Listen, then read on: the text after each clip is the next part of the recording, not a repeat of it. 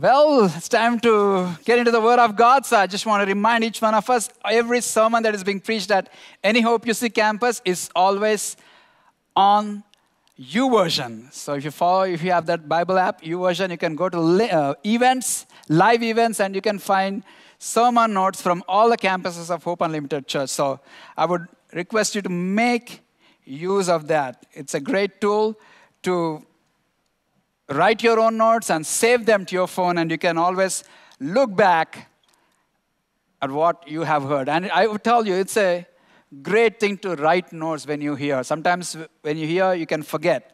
But when you write, you tend to retain it for a longer time. So, encourage to make use of that tool. Okay. So, if you've been following me, I'm talking about a series called Anybody? Anybody? Louder. The fight. Come on, say it. Come on, the fight. No, I like my congregation to talk back to me. I love to hear you speak, you shout out to me. So say, the fight. fight. That's good. Fight. So we've been saying that no matter who you are, the moment you receive Jesus into your life, you move from the kingdom of darkness into the kingdom of light, you're automatically drafted into, the, into this fight, okay? You became the enemy of Satan. So Satan comes and torments you, troubles you in various ways. So we are all involved in this fight. And to recap everything, week, the first time I spoke, week one, I spoke about the fight that we are involved in. This fight is invisible because we do not wrestle against flesh and blood, but against spiritualities and powers in darkness in the high places. So this fight is invisible.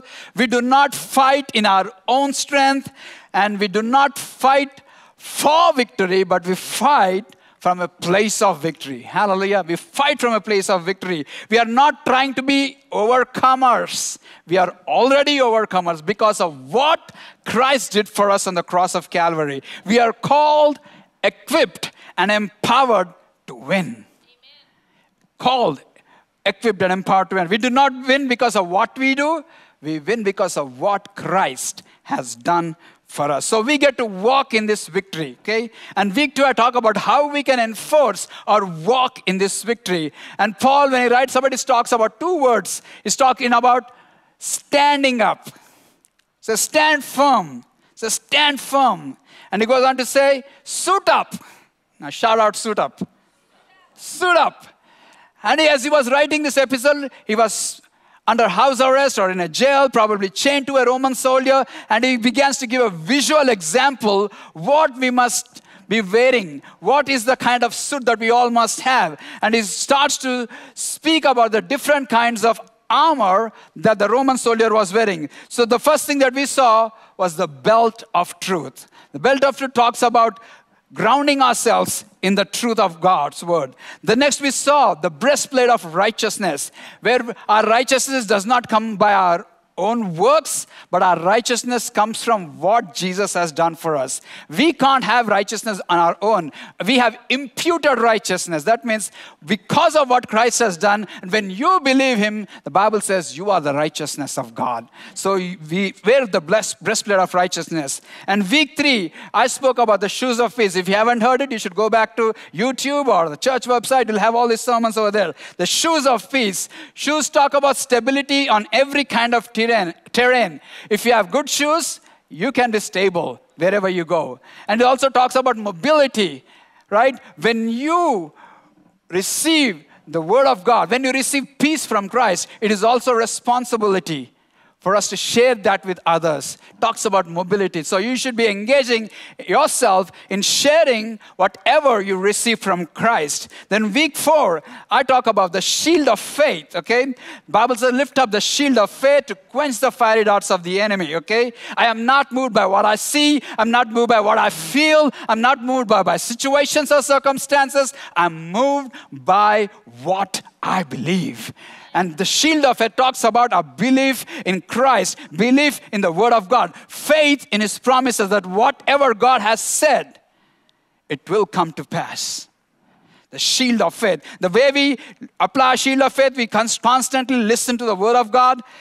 We look we lock ourselves with others in faith. That's why I spoke about the importance of being part of a life group. When your faith is locked up with some, someone else's faith, and together we do it, there is an impregnable wall that is against the enemy. So lock yourselves with others people's faith. Look up to Jesus, who is our shield.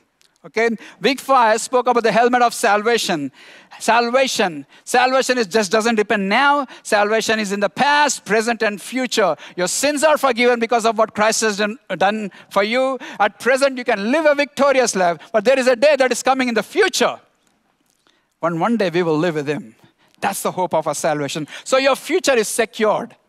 So when thoughts come saying, is this right? When thoughts of discouragement, depression come into your heart, the Bible says, put on the helmet of salvation. Put on the helmet of salvation. Helmet of salvation. So if you haven't heard and missed out any of the sermons, I want to encourage you, go to YouTube. Hope UC India YouTube or the church website. You need to listen to this because we are in a fight, whether you like it or not. And to win, we need to wear this armor. We need to suit up. And today I'm going to talk another important piece of the armor okay? Another important piece of armor, okay? And this is one of the premium uh, weaponry in our arsenal, okay? Every piece of armor is essential, but the way you use this one will determine whether you'll be successful or a failure. The way you're going to use this will show me, also will show me whether you've been listening to me or not. Okay, it will help you to be successful or a failure in, in our life. This is one of the very important piece of armor in any one of our lives, okay? And that piece of armor is found in Ephesians chapter 6 and verse 17. Okay, Ephesians chapter 6, verse 17. Let's all read it together at the count of three. Let me see who's awake. One, two, three. Salvation. And the sword of the Spirit, which is the word of God. So, what's the piece of armor we are looking at? The sword of the Spirit, the sword of the Spirit. The sword of the Spirit. Now, when you talk about the sword, I have a couple of swords with me over here.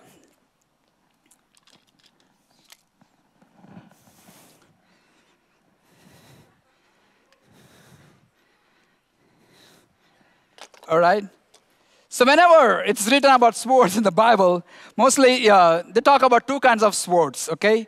Uh, one of the swords is called Rhomphaia. Rhomphaia, okay? Rhomphaia, okay? Rhomphaia is a long and broad sword. It's a long and broad sword. It's about um, 40 inches plus, longer than a yardstick. It's a great broad two-edged sword. Sometimes uh, probably you need to use it two hands to wield this.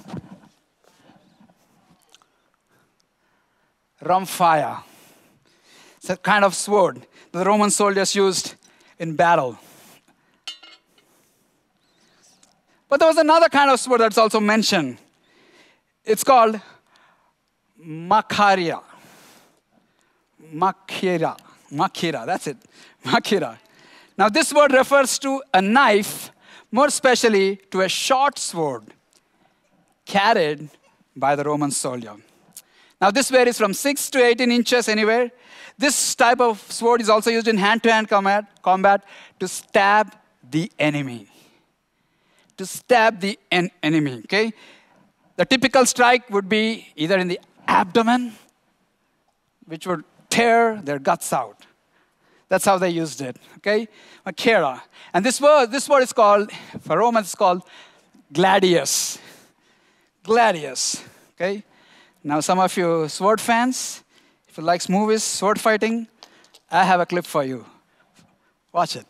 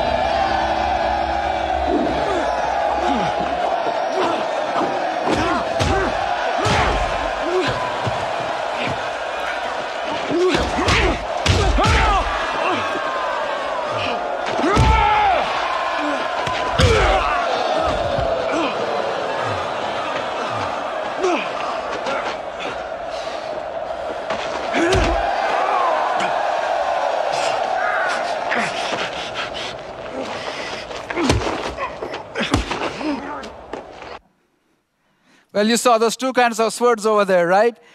One was a sword, big broad sword, where you can slash, using it so powerfully. But the short knife is a sword. It's a precision instrument. It's a precision instrument. You can pinpoint with accuracy where you want to head. So, Paul here is talking about using something like this. And when he's talking about the sword of the Spirit, he's not talking about a physical weapon over here. Because he said, he, when Paul was writing about the sword, he's not talking about some piece like this. Okay? He's talking about something spiritual. That's why he calls the sword of the Spirit. It's not a physical thing, it's a spiritual thing. And he says the sword of the Spirit is nothing but the word of God. So Paul says, hey, take up the sword of the Spirit, which is the word of God. Now, the word of God, we know the word of God is very powerful. You know, Second Timothy chapter 3, verse 16 and 17 talks about the word of God, something like this. It says, All scripture is God breathed and is useful for teaching, rebuking, correcting, training in righteousness, so that the servant of God may be thoroughly equipped for every good work.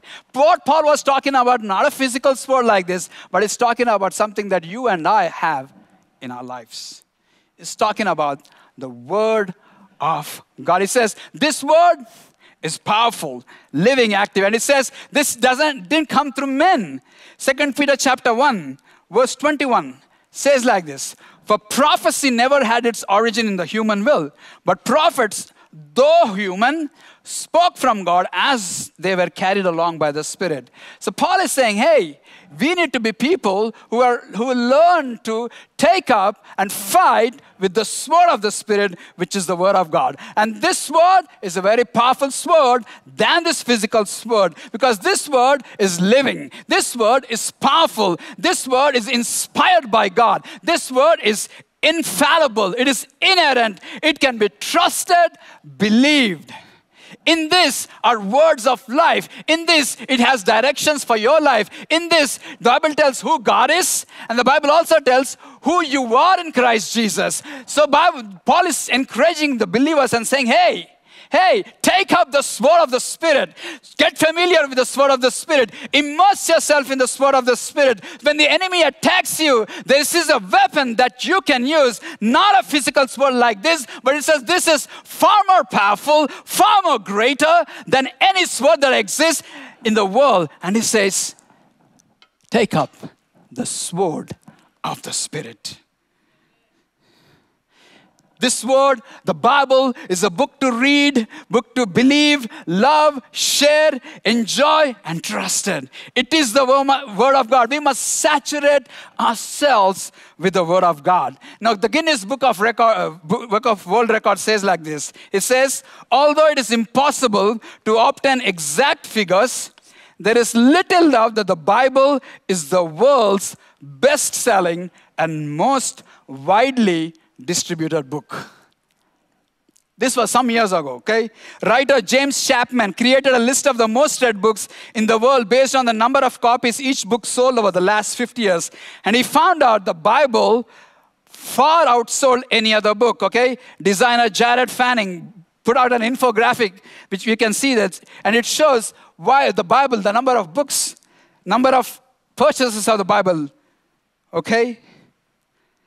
He said like this, said 3.9 billion copies, that's about seven, eight years ago, this, this survey, okay? And quotations from the works of Mao Zedong came in second with 820 million copies sold, and Harry Potter came in third with 400 million copies sold.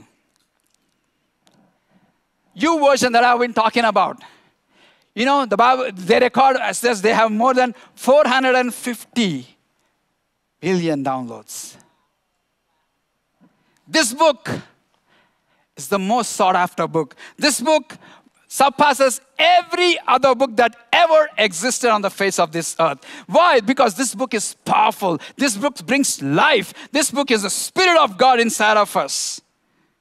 So when Paul is speaking about the sword of the Spirit, he's referring not to a physical sword, he's referring to the sword of the Spirit, which is the Word of God.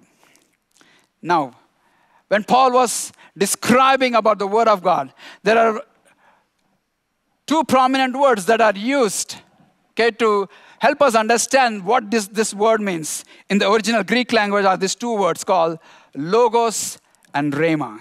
What is logos? Logos means the written word of God, which is recorded in the Bible, okay? Written word of God, okay? This word refers to something said. It also refers to the thought behind the words. This is often used to speak about the entirety of the word of God. Logos, okay? The other one is called Rhema. That's exactly what we named this baby. I don't think it's a coincidence today. I don't think it's a coincidence. I didn't know the name of the baby. Okay? So God is trying to teach you something today. Rhema. What does Rhema means? An utterance or the spoken word. An utterance of the spoken word. When it is used of the word of God, it does not speak of the whole Bible. It speaks about a specific verse or a specific passage of scripture. Okay? So when Paul uses this word in verse 17, in Ephesians chapter verse 7, 6, verse 17, Rhema is not referring to the whole Bible, but to shorter sections of the Bible. Shorter sections of the Bible, okay? Now, I'll give you some examples of logos and rhemas over here. Okay, John chapter 1, verse 1 says, In the beginning was the Word, and the Word was God, and the Word was with God. That's what we call logos, okay? Luke chapter 8, verse 11, the seed is the Word of God. Okay? Examples of Rhema. Okay? Romans chapter 10, verse 17. So then faith cometh by hearing, and hearing by the word of God. Rhema, a specific word of God. A specific word of God. Okay? Ephesians chapter 6, verse 17 that we are looking at. It also talks about take the element of salvation, sword of the, which is the specific word of God, the Rhema word of God, the specific word of God. So, the word of the Spirit involves applying specific scriptures or specific principles for a specific situation, for a specific task. What is Rhema? Rhema simply is this. This is Logos. The whole thing is called Logos. But sometimes you can read the Bible and something speaks to you. Suddenly something speaks to you. You read that passage hundred times, but that Sunday, that morning, something happened. The Spirit of God brought that scripture alive. And you've been probably waiting on God for a situation, and you see your situation right there. That is the Rhema. And Paul says, hey, take up this Rhema, specific scriptures in your fight against the enemy your fight against the enemy. Think of the Bible as a vast armory. In that armory, there are weapons of every size and description. These are designed for specific types of battle. And Paul says, not general knowledge, but specific scriptures for specific purpose. And Jesus is our greatest example how to use specific scriptures in specific situations. And we're going to see what, how Jesus effectively used the scriptures in combating or foiling the plans of the enemy. We find that in Matthew chapter 4.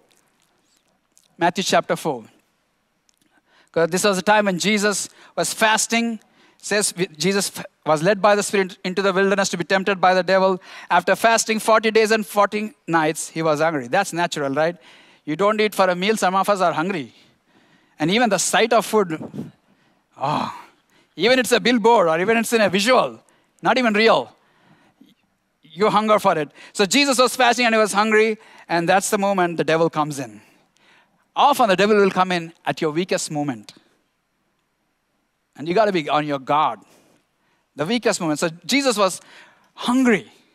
And the devil comes in and tempts him like this. Says, the tempter came to him and said, if you are the Son of God, tell the stones to become bread. So tempting. If you're hungry, especially. And when you have the power to do it, remember that. When you have the power to do it, Jesus had the power. He could have done that if he wanted to. So tempting. He was facing this situation, okay? But look at how Jesus resisted the enemy. Okay, says, verse 4 says, Jesus answered, It is written. It is written. What is Jesus doing over here? He's picking out a particular scripture passage, a particular scripture that was already written in Deuteronomy chapter 8, verse 3. Specific scripture for a specific situation. And this is what Jesus says It is written, Man shall not live on bread alone, but on every word that comes from the mouth of God. Specific word, specific situation. That's Rhema. What did Jesus do? He's taking this, he looked into the Logos and picked out a scripture that will help him in that situation. And he resists the enemy. Now, the devil didn't keep quiet. He was not going to give up so easily. So he does something else. So as before, go, go on. It says, Then the devil took him up to the holy took him to the holy city and had him stand on the highest point of the temple. If you are the Son of God, he said. Who said? Who is saying this? Louder. Louder. Devil? Are you sure it's the devil? Probably some of you got a revelation this morning that the devil can speak the word of God. The devil can quote the word of God. Maybe you didn't know that. But I want you to know today the devil can quote the word, and he is quoting the scriptures over here. And this is what he's saying. He says, If you are the Son of God, he said, throw yourself down. For it is written, he is using the same language. For it is written, he will command his angels concerning you, and they will lift you up in their hands, so that you will not strike your foot against a stone. The devil is using a scripture to tempt Jesus. If he could do that with Jesus, I want you to know he's going to use it against you. The scripture. The scripture. And he'll deceive it. That's what he did with Eve. He said, Did God say like this? Beware, my friends. You got to be on your guard. You got to know how to apply the scripture well, how to understand the scripture well. So if you're not, you will fail. And the devil is using the scripture here to tempt you and say, Jump. And the angels will, the Bible says, angels will get hold of you. But look at what Jesus did. He could have done that. He said, I can call, one part of Jesus said, I can call 12 legions of angels to come and help me. He has the power to do that, but he still didn't succumb to the schemes of the enemy. Verse 7, Jesus answered, said, It is also written. Picks out a specific scripture from Deuteronomy chapter 6, verse 16 says, Do not put the Lord your God to the test. Specific situation, specific scripture. The devil doesn't keep quiet. he goes on. Verse 8 Again, the devil took him to a very high mountain and showed him all the kingdoms of the world and their splendor. All this I will give you, he said, if you will bow down and worship me. If you will bow down and worship me. Sometimes the devil comes and tempts each one of us with power. I'll give you everything that you need if you follow me. I'll give you everything you need if you can do some mischief. In your accountings, yeah, you can score off some and say, this is not there, this is not there. You can cover up, yeah? Power, you'll get a lot of money, power. Look at how Jesus resisted the enemy. But Jesus said, verse 10, Go away, Satan, for the scriptures say, once again, he picks out a scripture from Deuteronomy chapter 6, verse 13, and says, Fear the Lord your God, serve him only. Fear the Lord your God, serve him only.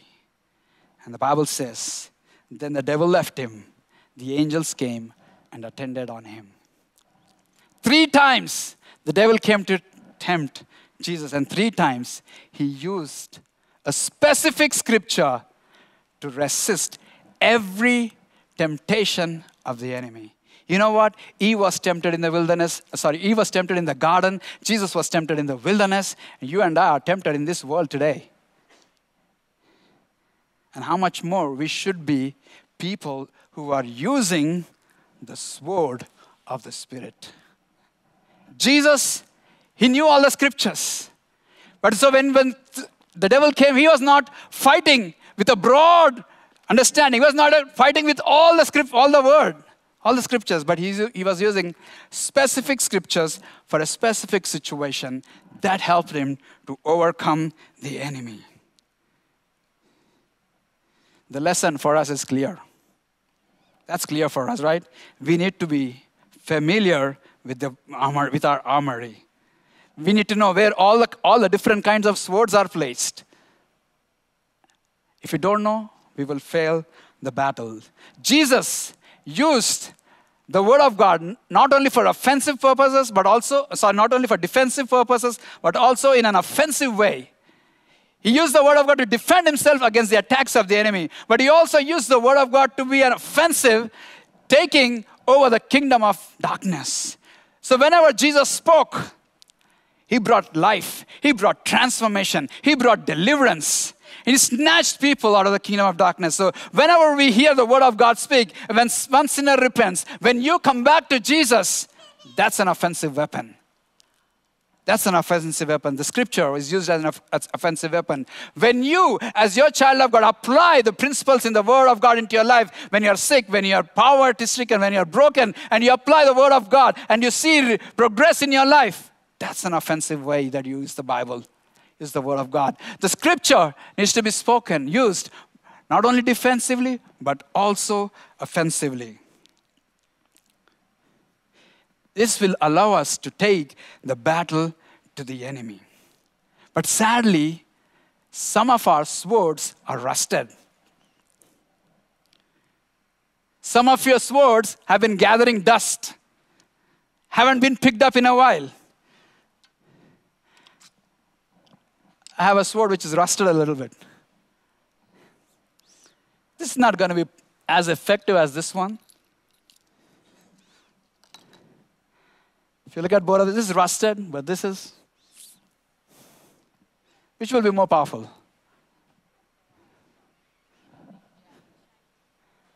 And some of us, our swords are like this at the moment rusted. And that's why you never win. That's why we face, when the enemy comes in, we don't know what to do. Sometimes when the enemy comes in, we use the whole, we try to figure out where it, where everything, what I can do. I've seen some of us putting the Bible under their pillow and sleep. Some of the past, I saw some of pastors also when pray the people, the people with the Bible on their heads. How is your sword today? That's a question I want to ask you today. Is it rusted or is it shiny? Is it sharp enough? We need swords that are sharp. We need swords that are shining and sharp to thwart the enemy's attacks in our lives. So, how do you keep your sword sharp? Keep your sword. How do you keep your sword sharp? Number one, get familiar with the sword. See, soldiers before they could ever use this weapon in, a combat, they need to first know how this sword works. They should know, they, they need to know how does it feel in your hand? How tight you, how, how tight you should grip? Or how, how should you hold it? Which angle is better to use it? Which will give a thrust, enough thrust? They keep practicing to make sure in a combat situation, they know very well which, how to use this sword. The same way in our spiritual lives.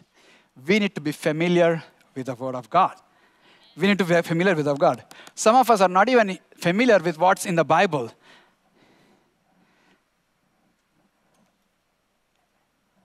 How many of you know there's a book called Habakkuk in the Bible? Lamentations.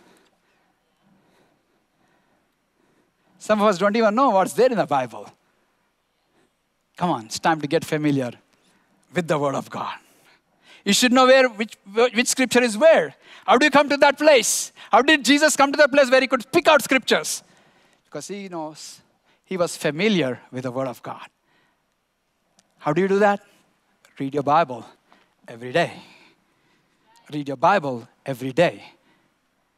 Make it a habit to spend time reading the Bible because this is the sword This is the sword. Read your Bible every day. Get, fami- get familiar with it. Know which scripture, where each scripture is.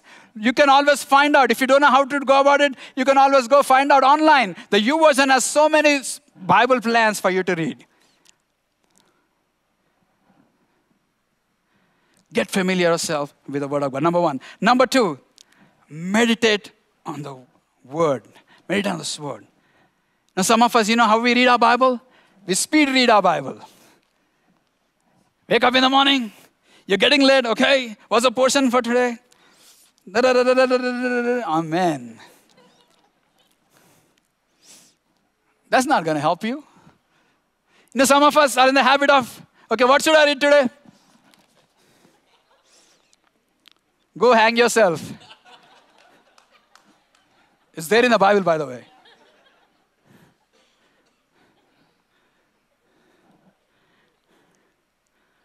This is not going to help us. We need to be students of the Word of God. We need to be diligent in our reading of the Bible. So if you don't have to read, pick out a Bible plan. Read from Genesis to Revelation if you want to. Read the New Testament if you want to. But follow a systematic and specific plan. And as you, as you read your Bible, ask the Spirit of God to illuminate scriptures for you. And when you have scriptures, you memorize it. Memorize it. That's such an important thing for us as Christians. We need to know the Bible, memorize the Bible. How did Jesus quote the scriptures? Because he knew the scriptures very well. He was familiar, he knew the scriptures. And it is on, our parts for us also to not only familiar, familiarize ourselves, but also we need to be meditating on the word, memorizing the word. Meditate on the word. Meditating doesn't mean read once and forget it. Meditating means think about it. Think about it as the cow continues to chew its cud. After some time, again,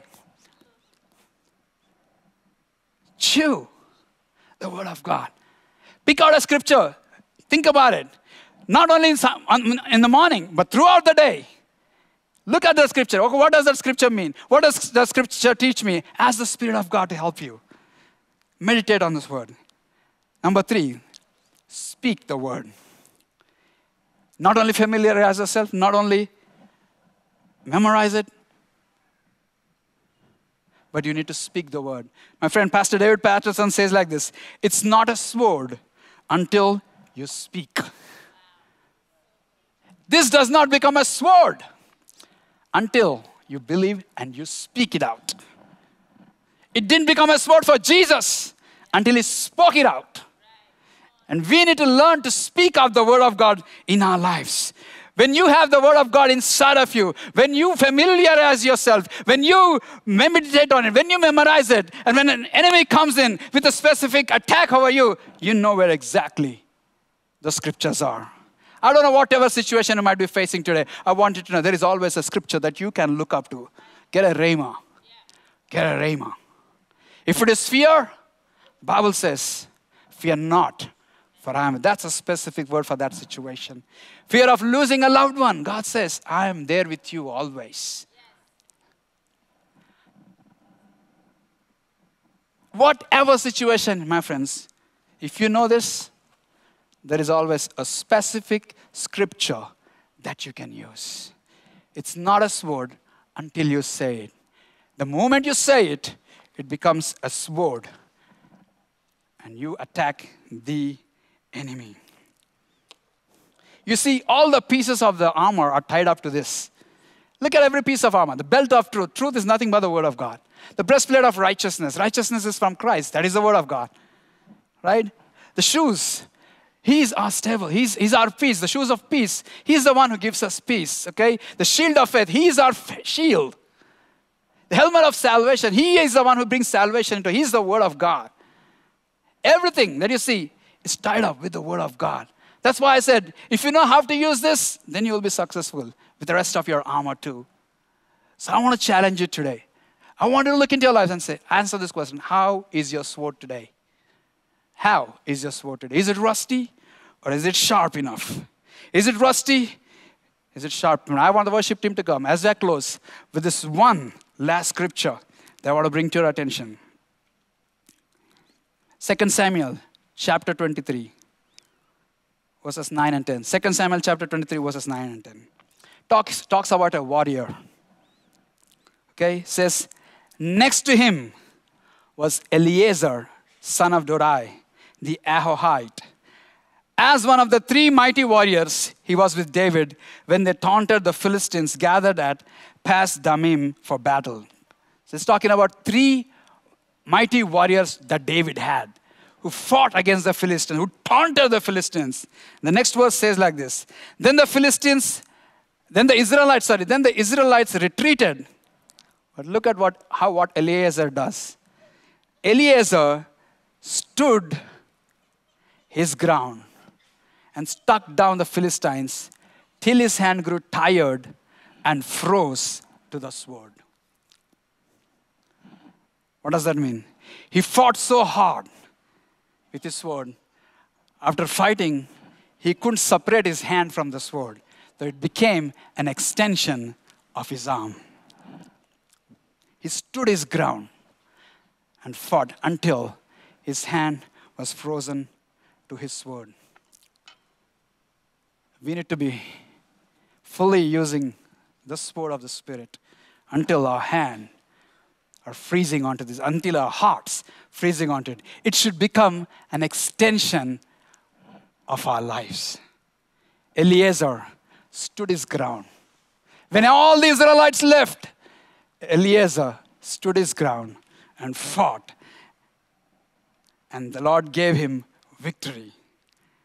The Lord brought about a great victory that day. God is looking for some Eliezers today. He's looking for some Eliezers today. Said, No way, devil, I'm not going to retreat. Even if my friends, my family retreat, I'm going to stand put until my hand is frozen to the sword. Becomes an extension of my hand. Just want to challenge you. How is your sword today? Can God find some Eliezers today? Here? Can God find some Eliezers today? Let's close our eyes. Let the Spirit of God speak to you.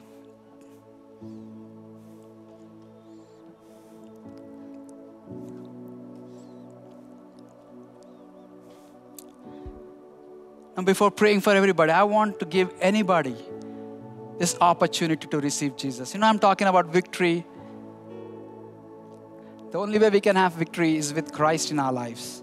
And the only way we can receive Christ in our lives is when we accept Him into our lives as our Lord and Savior. The Bible says He took our punishment, punishment that brought that was upon us, He took it upon Himself. He paid for our sins. Everything that we have committed wrong, He paid for it on the cross of Calvary. And He wants to give you life.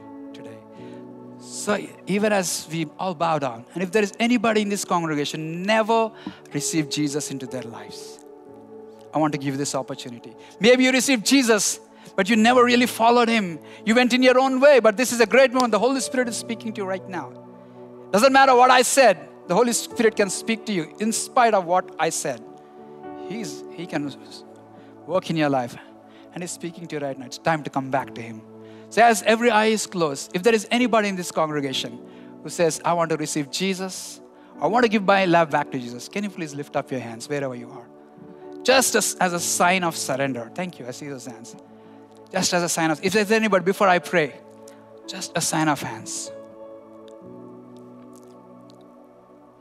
Just you don't worry about anybody. Don't bother about who's watching you, who's not watching. This is between you and God. Just keep your hand up, lifted up. God is watching you today. And everybody who's lifted up their hand, I want you to pray this prayer out aloud. And all the congregation will join along with you today in helping you to pray this prayer. So if you have lifted your hand, just I want you to pray this prayer out aloud. Heavenly Father, come on, everybody. Heavenly Father, I thank you for sending your son Jesus to die for me on the cross of Calvary. Jesus, I believe that you paid for my sins and you shed your precious blood for the forgiveness of my sins. I believe it with all my heart and confess with my mouth that Jesus is Lord. Come live inside of me by the power of your Holy Spirit. Just keep your hands lifted up. Lord, I just pray for everybody who's making that decision for the very first time, or anybody who's coming back to you today. I pray, Holy Spirit, that you'll bring a greater revelation and a greater understanding of your work in their lives, oh God. And the devil will not rob their joy of salvation anyway. We seal them by your Holy Spirit. We thank you, Lord, for that. In Jesus' name. Thank you. Our ushers are going to give you a card for you to fill up. Just please fill out the card for us. We would love to help you out in this journey with Christ. Can we all stand up in, in the presence of God? And I just want to pray for everybody. I just asked that question How is your sword today? Can God find some Eliezers today in this place? If your sword has been rusty, it's time to say, God, I'm sorry. I haven't dusted, I haven't shined my sword. They help me to do that from this moment onwards. So, everybody all across this place, lift up your hands as a sign of surrender. Holy Spirit, we just come to you today. Lord, we see the importance of making our swords sharper, oh God. Thank you, Lord, for your word, which is alive and powerful, oh God. Thank you, Lord, for your word can be specific, Lord, in certain every situation in our lives, oh God. And I pray, Holy Spirit, that you'll help us to read the Bible, familiarize ourselves with the Bible, understand it, memorize it, Lord, meditate on it, and we'll be able to speak it against the attacks of the enemy. And I pray, Lord, when we do that, we know, Lord, that you already has given us victory and we will enforce our victory in our lives, oh God. I pray, Holy Spirit, that will help my people to do that, oh God. To be students of the Word of God, to be diligent in understanding your Word, familiarizing themselves with your Word, oh God, with your Word, and speaking it out resisting the enemy. Thank you, Lord, for that. I pray a blessing and everybody who is here and who's everybody's watching us online. I pray that your spirit will be with us throughout this week and help us to have a great week wielding your sword in our lives, oh God. Thank you, God, for that. In Jesus' name I pray. Amen. Amen.